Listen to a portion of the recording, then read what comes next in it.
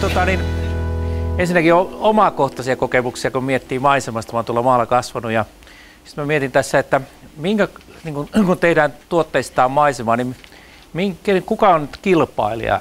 Kenen, ketä, kenen, ketä vastaan tässä kilpaillaan? Kun tämä on elämysbisnestä, niin, niin, niin mulle tuli mieleen ensimmäisenä että elokuva. Koska siellä yrittää vähän samoja elementtejä tuoda tähän, niin kuin, että, että niin kuin tämän päivän elokuva kun menee, niin annetaan kovaa ääntä sille, että sillä niin kuin tärähtää penkki ja, ja, ja sitten erilaisia aistimuksia ja muita.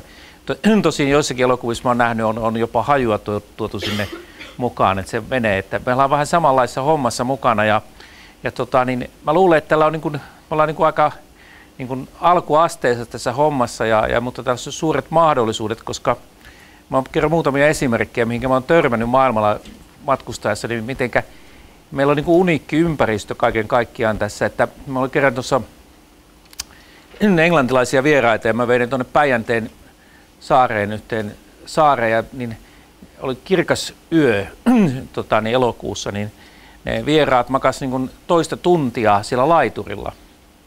Ne kuuli vaan niin vähän solinaa, vähän lintuja ei siihen aikaan nyt hirveästi enää lintuja mutta ne katteli tähti taivasta, koska ne ei ollut koskaan nähnyt sitä. Koska et sä Lontoossa sä et näe enää tähtitaivasta, puhumattakaan Peking ja Kiina, jos ei näin kuin naapuritalo enää näe. Niin, niin, niin se kysyntää kansainvälistäkin varmaan tämän tyyppisille on. Sitten toinen tapaus, missä sitä tuli niin kuin mieleen, niin toistakymmentä vuotta sitten mä olin Japanissa ja, ja siellä oli tota, niin, henkilö ja jutteli hänen kanssaan no, noin 35-vuotias henkilö ja hän sanoi, että kun saisi joskus olla hetken yksin. ja, ja tota, mä kysyin, aha, että no sitten mä kerroin, että mä olin just mun poikani kanssa ollut tuolla Lapissa patikoimassa ja sitten oltiin tota, Tunturijärvellä vähän kalaa ongelmassa. Me oltiin viikko siellä. Ja hän säikähti aivan ja sanoi, että hei, hän ajatteli paria tuntia, että se olisi niin kuin maksimi, maksimi niin kuin aika, kun, koska Japanissa sä et ole koskaan yksin. Siis sä oot aina kotona, tai siis siinä on seinänaapurit, ohuet seinät, sä oot aina jonkun kontrollissa, jos sä oot jossain liikenteessä, siinä on aina ihmisiä ympäri.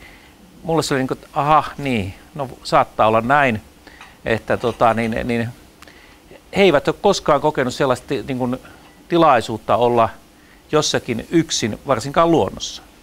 Et sinänsä se niin kuin, efekti on varmaan voimakkaampi kuin siinä elokuvassa.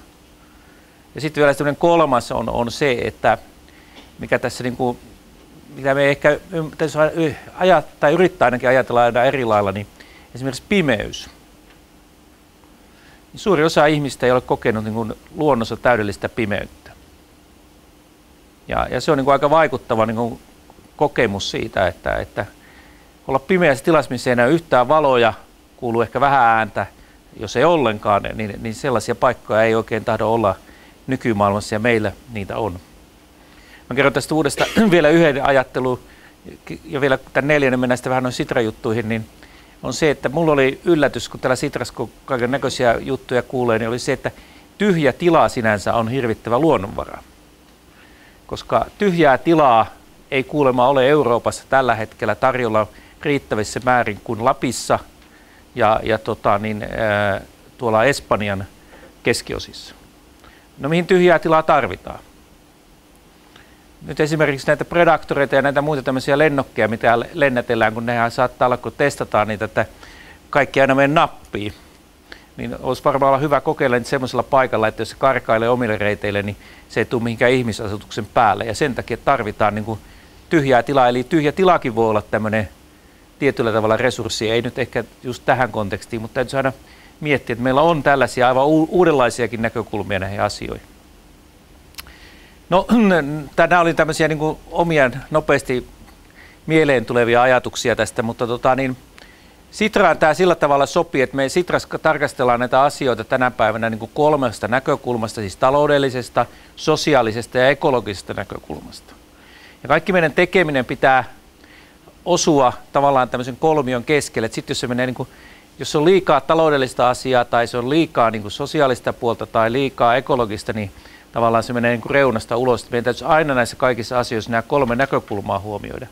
Ja lisäksi vielä se, että meidän täytyy huomioida se, että siellä on tämmöinen vastuullinen ihminen siellä keskellä, että se ei riitä, että meillä on niin tämä ympäristö ja, ja meillä täytyy myös olla se keskellä se ihminen siinä kolmiossa ja jos näin, näin mennään, niin silloin tässä tapahtuu niin kuin meidän mielestä semmoinen kestävä kehitys ja me pystytään tältä pohjalta niin ponnistaa eteenpäin niin kestävällä tavalla ja luoda siihen ympäristö- ja viitekehykseen hyviä tuotteita ja tietysti meidän primääritarkoitus, että, että me, meillä olisi parempi elämä. Ja, ja, ja oikeastaan vielä yksi, ja, ja tämä niin kuin sen takia, että tämän päivän aihe sopii meille hyvin. Mehän ollaan Suomessa ratkaistu tätä aika lailla tälleen kätevästi ja huomaamatta. Mehän ollaan niin kuin tavallaan tämä maisema tuotteistettu ja hommattu se itsellemme aika moni hommaamalla kesämökki. Niin siellähän on se meidän lapsiemme ja meidän, me muistamme varmaan kaikki lapsena ne kesämökit ja muuta, niin meillä on se maisema piirtynyt siellä. Ja tämäkin on tietysti aika uniikki ratkaisu maailman mittakaavasta. Jokaisella on niin kuin ainakin jonkinnäköisiä kokemuksia, jos ei omia, niin sukulaisten ja muiden kesämökkejä. Ja tämä on yksi tapa minun mielestä tuotteistaa tämä maisema, koska me, silloin kun mökille mennään, mehän haetaan sitä maisemaa ja sitä olotilaa, joka siellä on. Näillä sanoilla niin, niin tilaisuus avattu ja tervetuloa.